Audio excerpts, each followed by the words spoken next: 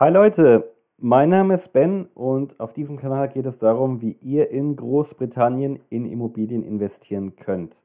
Ähm, in meinem ersten Video vor ein paar Wochen habe ich euch ja schon eine erste Einführung gegeben in die verschiedenen Strategien, ähm, wie man investieren kann in Großbritannien und warum es vielleicht Sinn machen könnte. In diesem Video möchte ich euch ein paar Tipps geben, wie weiter vorzugehen ist und in welchen Bereichen in England es vielleicht äh, Sinn macht zu investieren. Hierzu filme ich meinen Bildschirm ab. Ähm, ich möchte euch erstmal nur einen kurzen Überblick über, über Großbritannien an sich geben und dann werde ich euch einen Einblick in äh, die Webseite Rightmove geben. Rightmove ist eigentlich für Investoren die, die Website. Ähm, ich denke mal, auf Rightmove findet sich eigentlich jede, fast jede Immobilie, die aktuell zum Verkauf steht in England, in Großbritannien. Und für Investoren ist es eigentlich wirklich die Website, die genutzt werden sollte. Ähm, wenn man sich jetzt England oder Großbritannien mal anschaut, dann kann man den Großraum London einmal abgrenzen. Ich würde mal sagen, von Oxford gehen wir einmal nach Osten in der geraden Linie nach Süden und dann diesen ganzen südöstlichen Teil ähm, würde ich jetzt als sehr, sehr hochpreisig einstufen. Ähm, die Hauspreise sind in den vergangenen zehn Jahren sehr stark gestiegen und aktuell geht es hier eher nach unten. Das muss man natürlich wissen als Investor. Wenn man hier einsteigt, muss man sehr viel Geld mitbringen ähm, und die Preise werden erstmal nicht steigen. Zumindest steigen sie aktuell nicht. Was morgen passiert oder in einem halben Jahr, kann ich auch nicht sagen. Ähm, was ich allerdings sagen kann, ist, dass viele Firmen aktuell aus London eher nach Birmingham gehen. Also einige große Firmen haben hier schon ähm, ihr Hauptquartier nach Birmingham verlegt. Birmingham ist die zweitgrößte Stadt in England. Ähm, so, einmal das hier sei gesagt, Südosten ist eher ähm, sehr hochpreisig. So, wenn ich jetzt nach Südwesten gehe, dann haben wir eine wunderschöne Landschaft. Ähm, hier lässt sich vielleicht gut Urlaub machen, allerdings würde ich hier eher nicht investieren denn äh, hier lässt sich nicht so viel Geld verdienen.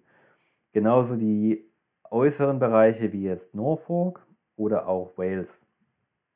Das ist eine sehr schöne Landschaft, allerdings ist es nicht so gefragt. Ähm, Ausnahme bildet hier der Süden von Wales, ähm, Swansea, Cardiff, ähm, Newport, große Städte, Hafenstädte, gute Verkehrsanbindung an London, auch an boomende Städte wie Bristol. Hier ist es durchaus attraktiv zu investieren. So, wenn wir jetzt weiter von Oxford nach Norden gehen, dann haben wir den großen Bereich um Birmingham. Das sind die sogenannten Midlands. In den Midlands haben wir, ich würde sagen, mittlere Hauspreise. Ja, also wir gehen, je weiter wir von London und von diesem südöstlichen Bereich nach Norden gehen, desto günstiger sind die Hauspreise. Ähm, und das ist wirklich witzig, weil ich meine, in Deutschland habe ich verschiedene Städte wie München, Frankfurt, Hamburg, wo die Preise, oder Berlin, ja, wo wir doch in verschiedenen Hotspots ähm, hohe Hauspreise haben.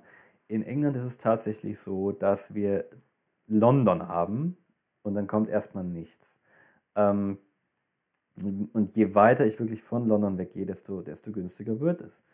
Ähm, natürlich gibt es hier immer ein paar Ups und Downs, aber ähm, das ist tatsächlich so, Je weiter von London weg, desto günstiger. Ähm, großer Bereich Birmingham, die Midlands, wie gesagt, mittlere Hauspreise. Und hier habe ich gleichzeitig aktuell auch ein Wachstum der Hauspreise und ein relativ attraktive, eine relativ attraktive Mietrendite. Wenn ich jetzt weitergehe in den Norden Richtung Manchester, Liverpool, dann ist es das gleiche. Allerdings sind zum Beispiel in Liverpool und Manchester die Hauspreise wiederum etwas günstiger als in Birmingham.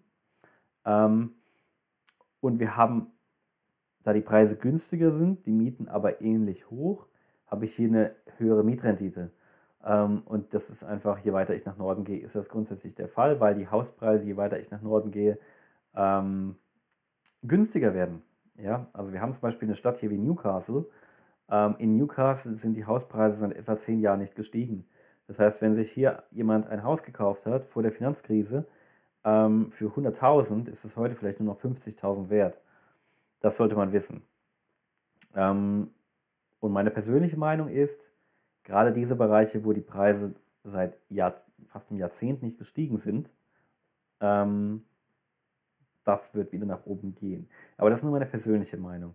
Ähm, und das nur mal ganz kurz so als, als über einen groben Überblick über ähm, den Immobilienmarkt in Großbritannien zu kriegen. Wir haben also die verschiedenen Bereiche. Ähm, als Investor, ich persönlich würde in einer der größeren Städten investieren, in einer der größeren Städte oder dem Umkreis. Äh, Birmingham ist sicherlich interessant, Sheffield, Manchester, Liverpool, ähm, aber auch Städte wie äh, Nottingham, ähm, Northampton, ähm, Städte wie Milton Keynes zum Beispiel sind fast schon wieder zu teuer, um eine anständige Mietrendite zu bekommen. Ähm, aber grundsätzlich auch Newcastle, ja, oder Blackpool, ähm, durchaus relativ arme Gegenden, aber, äh, oder Hull, ähm, grundsätzlich relativ arme Gegenden, aber ähm, hohe Mietrenditen.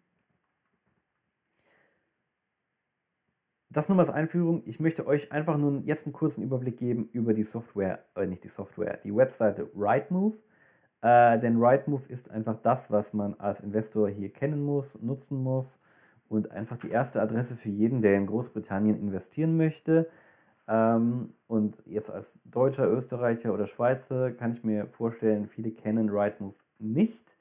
Ähm, denn meines Wissens es, ist es in Deutschland nicht verfügbar oder wird nicht genutzt im deutschen oder österreichischen oder Schweizer Markt. Ähm, Rightmove ist sehr transparent. Ich kriege quasi alle Infos über ein Haus über Rightmove. Ähm, wenn ich investieren möchte in einer Stadt in England, dann sollte ich zuerst mal den durchschnittlichen Hauspreis ermitteln. Das kann ich einfach machen über Google. Ähm, der nächste Schritt wäre dann, dass ich in Rightmove gehe und mir einfach, einfach mal einen Überblick über den Markt verschaffe. Ähm, ich schaue mir jetzt zum Beispiel mal, was nehmen wir? Wir nehmen einfach mal Newcastle. Newcastle. Und dann klicke ich auf For Sale. Denn das sind alle Häuser, die aktuell am Markt angeboten werden. Wichtig zu wissen ist einfach, dass wirklich alle Makler ähm, nutzen Rightmove. Das heißt wirklich, ist jeder Makler, der es nicht nutzen würde, wäre blöd, ähm, denn quasi jeder nutzt Rightmove. Ähm, ich kann mir dann überlegen, möchte ich mir nur wirklich, wirklich Newcastle selbst anschauen oder gehe ich auch vielleicht innerhalb von ein, drei Meilen um Newcastle herum, ähm, vielleicht fünf oder zehn Meilen. Ähm, wenn ich dann weiß, ich habe vielleicht 100.000 zum Investieren, dann klicke ich das als Maximalpreis an. Ähm, sinnvoll wäre vielleicht, wenn ich 100.000 habe, dann gehe ich vielleicht auf 110, weil ich ja möglicherweise das Haus auch runterhandeln kann. Wichtig zu wissen ist, minimal sollte 50.000 sein, hat einfach damit zu tun, dass keine Bank ähm, ein Haus finanzieren wird, was unter 50.000 liegt. Ähm, wichtig auch zu wissen, im englischen Markt geht es nicht nach Quadratmetern. Das ist total uninteressant und kaum jemand fragt danach. Es geht nur nach Number of Bedrooms. Das heißt, eine Familie grundsätzlich geht ab drei Bedrooms los, keine oder eine Familie ohne Kinder. Gut, ist vielleicht nur eine halbe Familie, aber ähm, Familie mit Kind wird in der Regel nach wahrscheinlich drei Bedrooms suchen. Ähm, kommt jetzt natürlich darauf an, an wen möchte ich vermieten. Suche ich nach Familien oder ist es mir wurscht? Ähm, ich würde jetzt mal hier No Min eingeben. Ähm, und Property Type kann ich gleich noch filtern. Find Properties. Dann als erstens erstmal den, den, den Filter setzen. Ähm, grundsätzlich haben wir hier die Detached Houses, die sind interessant, das sind die alleinstehenden Häuser. Semi-detached sind ähm, Doppelhaushälften. Terraced sind die Reihenhäuser. Ich persönlich würde nicht eine Wohnung kaufen, ähm, zumindest im Moment nicht. Das ist mein aktueller, ähm, meine aktuelle Meinung. Hat damit zu tun, weil hier Besonderheiten zu beachten sind. Mir gehört zum Beispiel das Land nicht. Ich muss eine Ground Rent zahlen an den Freeholder. Der Freeholder ist immer die Person, der das Land gehört. Und ähm, wenn ich nur eine Wohnung habe, dann bin ich nur Leaseholder. Diese Lease, also diese, diese Miete sozusagen, die ich, ich miete quasi die Wohnung. Ähm, ich meine, ich kaufe sie, aber ich bin nur Leaseholder und ähm, äh, diese Lease kann auslaufen. Ähm, das heißt, wenn ich eine Wohnung kaufe mit einer Lease von nur fünf Jahren und das läuft aus, dann kann es sein, dass ich nach fünf Jahren ein Problem habe. Also hier sind viele Besonderheiten zu beachten. Auch grundsätzlich steigen die Preise von Häusern mehr als von Wohnungen. Ähm, was ich jetzt nicht mehr anschauen möchte, das sind die New Homes, Buying Schemes, Retirement Homes. Hier gibt es einige Besonderheiten. So. Und dann bekomme ich schon mal in diesem Umkreis um Newcastle, na gut, vielleicht ist 5 Meilen, 10 Meilen ein bisschen groß, ähm, bekomme ich erstmal alle Häuser, die verfügbar sind. Was ich mir jetzt, wenn ich auf der Suche nach einem Angebot bin, dann würde ich suchen nach Oldest, oldest Listed. Denn Oldest Listed bedeutet, es ist ganz oben zeige ich, zeigt sich das Haus, welches eben schon am längsten ähm, bei Rightmove online steht. Ähm, ich könnte aber auch auf Lowest Price gehen. Also hier hängt es einfach danach, da, davon ab, was, was möchte ich mir anschauen. Aber Oldest Listed, ähm, das zeigt mir einfach wirklich, dass vielleicht der, der, der, der Verkäufer hier etwas verzweifelt ist, weil er vielleicht seit zwei Jahren das Haus nicht losbekommt.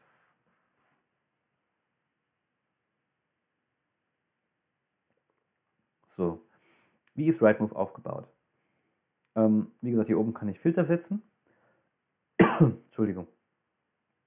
Ähm, hier oben haben wir immer die Featured Properties. Das ist eher uninteressant vielleicht. Das sind die Häuser, für die jemand mehr, wo jemand mehr Geld bezahlt hat für die Werbung. Die werden gesponsert. Ähm, und ansonsten geht es hier los mit dem Haus. Oldest Listed. Ja, 90.000 knapp. Ähm, ich habe hier den Estate Agent, das ist der Makler, der das Haus ver verkauft für den Verkäufer mit einer Telefonnummer. Hier kann ich also direkt anrufen und, und fragen, wenn ich eine Frage über das Haus habe, ähm, kann er es mir beantworten. So, klicke ich auf das Haus, sehe ich zunächst mal Bilder.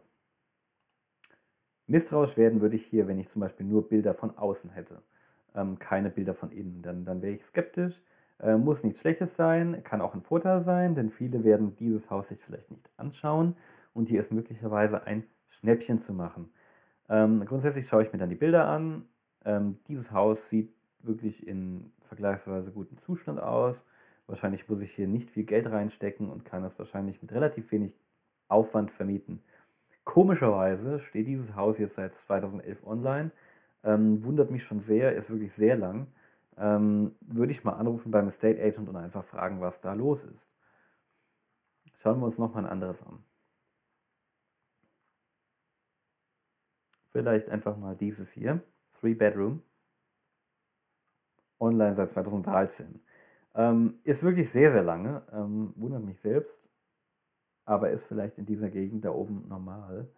Ähm, kann damit zu tun haben, dass die Hauspreise seit zehn Jahren oder seit mehr als zehn Jahren nicht gestiegen sind und viele vielleicht dort in der Situation sind und verzweifelt versuchen seit Jahren ihr Haus zu einem bestimmten Preis zu verkaufen und einfach den Preis nicht kriegen.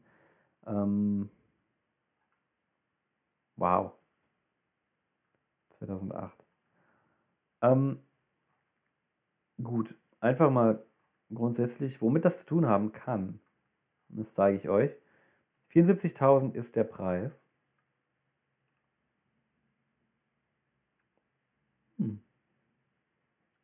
Und wir sehen hier eine Geschichte, womit ähm, eine Geschichte, wie die Hauspreise waren. So, und das sind wirklich die, die, die Preise, zu denen das Haus in der Vergangenheit verkauft wurde. Das heißt 1998 28.950 und in den Jahren danach immer ähm, steigende Preise. Gut, jetzt wundert mich wirklich, warum das Haus seit dieser Zeit so lange online steht. Aber wie gesagt, das kann man rausfinden durch den Estate Agent. Ähm, grundsätzlich einfach mal zu Rightmove. Wir haben dann hier auf der ersten Seite, wie gesagt, immer die Bilder, eine Description, einfach eine Beschreibung ähm, des Hauses. Hier noch in etwas mehr Worten. Dann habe ich hier unten eine Broschüre vom Makler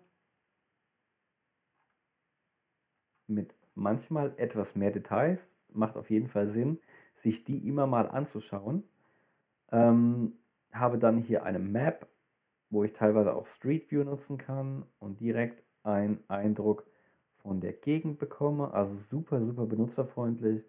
Ähm, wenn ich clever bin, dann kriege ich hierüber auch genau die Hausnummer raus von dem Haus. Denn die Bilder von Google sind wirklich gute Qualität. Und ähm, ich kann hier oft die Hausnummer herausfinden. Und über die Hausnummer bekomme ich dann den Postcode. Das heißt die äh, Postleitzahl und was man wissen muss, in England ist die Postleitzahl, wenn ich die Postleitzahl kenne, kenne ich in der Regel die Straße. denn wir haben nicht wie in Deutschland ähm, Postleitzahl pro Stadt, sondern wir haben hier Postleitzahlen pro Straße. Wenn ich dann die Postleitzahl kenne plus die Hausnummer, dann kann ich sehr gut den ähm, durchschnittlichen Hauspreis ermitteln, beziehungsweise kann ich selbst ermitteln, was das Haus, was ein fairer Preis für das Haus wäre. Ja, und ich muss mich nicht mit diesem Angebotspreis ähm, zufrieden ähm, geben.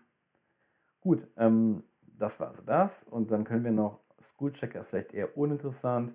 Marketinfo habe ich euch schon gezeigt. Und wenn man dann runtergeht, äh, kann man auch einfach, was nochmal wichtig ist für den Durchschnittspreis in der Gegend, kann ich mir anschauen, äh, was steht aktuell noch zum Verkauf in der Gegend.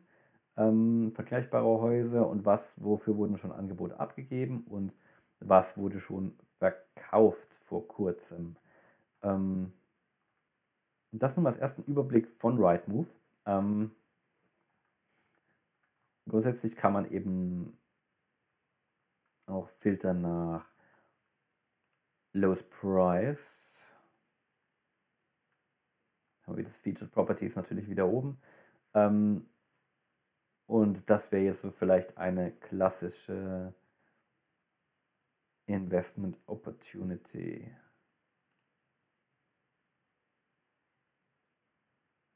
Gut. Jetzt sieht man hier nur ein Bild. Ähm, was das für mich bedeutet, ist, das Haus ist wahrscheinlich Schrott. Ähm, was nicht schlecht sein muss. Denn das heißt, ich kann, keine Ahnung, ich stecke 10.000 rein, neue Küche rein, neuer Boden, wie auch immer. Und der Wert vom Haus steigt plötzlich dann um 20, äh, 20 30.000. Das, das ist grundsätzlich möglich. Und was ich dann machen kann, ist das Haus mit Gewinn verkaufen oder refinanzieren und ich bekomme das Geld eben zum großen Teil wieder raus, was ich reingesteckt habe und kann dann direkt ein neues Haus kaufen und das gleiche wieder machen. Ähm, ich mir das Haus anschauen, also schöne helle Bilder, aber der Teppich schrecklich, ja, das Bad braucht wahrscheinlich einen Refurb, ähm, Küche ist vielleicht okay, furchtbar, Teppich, äh, einfach schrecklich. Ja, also hier könnte man was draus machen. Ähm, Offers in Weit, also der, der Verkäufer akzeptiert wahrscheinlich Angebote im Bereich 50.000 bis 70.000. Ähm, und hier sieht man einfach mal, was möglich ist. Ja, also Newcastle, auch wenn die Preise hier nicht gestiegen sind seit, seit vielen, vielen Jahren, ist Newcastle eigentlich eine schöne Gegend. Ähm, liegt am Meer. Ähm, ein Haus für, ich sag mal, 50.000 Pfund durchaus attraktiv sein, ja. Ähm, also wenn man das jetzt mit, mit Preisen in Deutschland vergleicht, ich meine, es ist ein Two-Bedroom-Haus, ganz klar, ist klein. Ähm, hier sehe ich den Floorplan, den nicht bei allen Häusern, äh, den ich sehen kann, bei vielen allerdings. Und der sagt mir einfach Ground Floor, ich komme hier rein, habe hier eine Treppe, hier habe ich das Wohnzimmer, habe ich den Dining Room, ähm, hier habe ich eine Kitchen und hier habe ich ein äh, WC. Und auf dem First Floor habe ich dann noch ein Bedroom, Bedroom und wahrscheinlich ein Family Bathroom. Ähm, was auch mal interessant ist, einfach mal als, als grundsätzlich, ähm, vielleicht als Info, wo man sich schon mal anschauen kann. Ich habe hier einen Property Price von 50.000, mein Deposit ist 5.000, äh, das ist also das, was ich anzahle. Äh, hier habe ich Zinsen von 2,4 Prozent ähm, und ich zahle vielleicht über 25 Jahre zurück. Dann habe ich monatlich mit Kosten von vielleicht 200, was heißt, also von, von, von, von Raten an die Bank von 200 Pfund zu rechnen. Ähm, Jetzt nur mal als Info. Nur mal, um euch das kurz zu zeigen. Da gehört viel mehr dazu, aber ich zeige es euch nur ganz kurz. Ich habe hier den ersten Teil von dem Postcode. Wir merken uns die 200 Pfund. Ich gehe jetzt nochmal auf Rightmove. Gebe hier den Postcode ein. To rent. Gebe mir ähm, Two Bedrooms. Find Properties. So. Was ihr jetzt sehen könnt, ist in diesem Postcode-Bereich, was ich an Miete erwarten kann für ein Two-Bedroom-Haus. Das heißt, wir merken uns, ich zahle für dieses Haus etwa 200 an die Bank. Das war jetzt schon mit Repayment, das heißt, ich zahle es ab. Äh, 200 Pfund, also ganz ehrlich, minimal. Ähm, so was kann ich an Miete erwarten? Für so ein Haus scheinbar, wenn wir mal einfach mal Lowest Price Wirklich die niedrigste Miete, die ich scheinbar hier erwarten kann, liegt bei 300 Pfund. Was ist die höchste? 495. Aber das ist ein Bungalow. Aber für ein Two-Bedroom Terraced House, genau das, was wir gesehen haben, 425. Ich würde mal sagen, vielleicht durchschnittlich. Also wenn es gut ist, scheint hier bei 400, 425 was möglich zu sein. Ähm, wenn man, selbst wenn man jetzt mit 350 rechnet.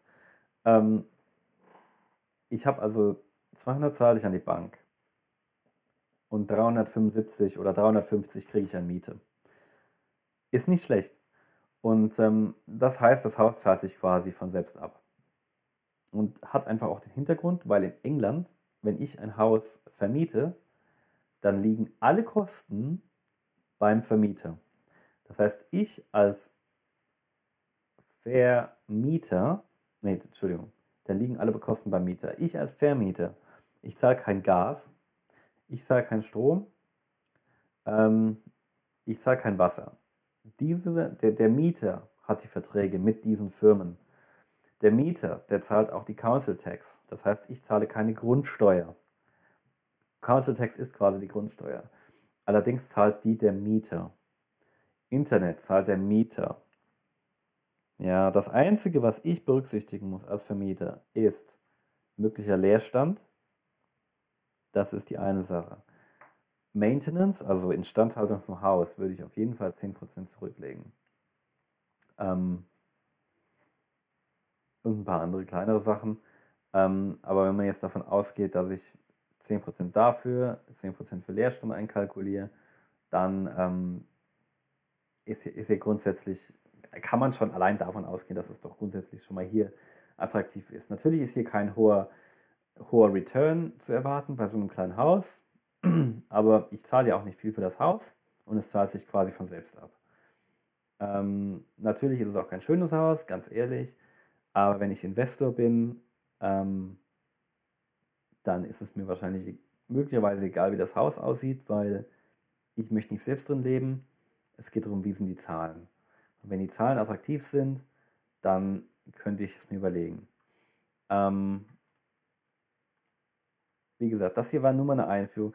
Und das, das war einfach eine Einführung für Rightmove. Ähm, in weiteren Videos werde ich euch noch andere Webseiten zeigen, werde mehr im Detail darauf eingehen, ähm, wie ich persönlich vorgehe, wenn ich jetzt ähm, mir ein Haus suche, ein mögliches Investment.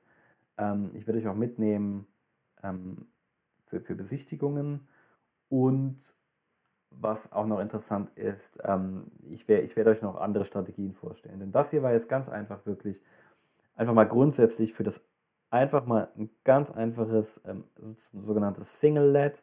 Das heißt ein Haus, was ich einfach nur vermiete. Ähm, es gibt natürlich noch andere Strategien, mit denen viel höhere ähm, Returns zu, äh, möglich sind, zum Beispiel HMO, wo ich dann quasi eine WG ähm, zur Verfügung stelle und jedes Zimmer einzeln vermiete äh, womit ich wesentlich mehr Cashflow generieren kann. Ähm, aber das hier sollte einfach nur eine kurze Einführung sein. Ich möchte es nicht viel länger machen. Ähm, wenn ihr Fragen habt, schreibt sie bitte in die Kommentare. Bitte lasst einen positiven Daumen nach oben da, ähm, damit der Kanal wachsen kann. Und bitte abonniert auch den Kanal, wenn ihr an Immobilieninvestitionen in England oder Großbritannien interessiert seid. Denn der Kanal soll wachsen. Ich weiß, es gibt viele, viele deutsche, deutschsprachige Investoren, die daran interessiert sind. Und mit diesem Kanal möchte ich einfach zeigen, dass ähm, das Risiko wirklich überschaubar ist. Ich meine, meine persönliche Meinung nur, ich, ich kann hier auch keine und möchte auch keine ähm, Empfehlung geben. Aber ähm, natürlich ist bei jeder Investition ein gewisses Risiko da, auch bei Immobilien grundsätzlich. Aber ich möchte einfach die Angst nehmen, ähm, die euch möglicherweise noch abhält. Denn ähm, meiner Meinung nach geht es im Euroraum etwas bergab. Ähm, und meiner Meinung nach wird es nach dem Brexit in Großbritannien bergauf gehen. Ähm, das heißt, jetzt ist es möglicherweise noch ein guter Zeitpunkt, wie ihr, solange auch Deutschland oder ich sag mal Großbritannien noch im Euroraum ist, wie ihr jetzt noch investieren könnt. Vielleicht, ich weiß nicht, was für, für ähm, Regularien noch, noch ähm, ja, nach dem, wirklich nach, dem, nach der Übergangsphase des Brexit äh, eingeführt werden, aber aktuell ist es wirklich noch sehr einfach, ähm, hier zu investieren. Und wenn ihr Fragen habt, bin ich bereit, euch zu helfen. Ähm, stellt euch einfach eure Fragen. Ich kann euch auch ähm, Kontakte nennen. Ich, ich habe ein Netzwerk hier von äh, Mortgage Advisern, die euch helfen, euren Kredit zu bekommen. Ähm, ich kenne Leute, die euch helfen können, eure Limited Company aufzusetzen. Das, das kann sogar ich machen. Wie gesagt, wenn ihr Fragen habt, meldet euch. Ähm, ich hoffe, es hat euch gefallen. Wie gesagt, bitte lasst einen Daumen nach oben da und abonniert den Kanal, damit der Kanal wachsen kann. Bis zum nächsten Mal.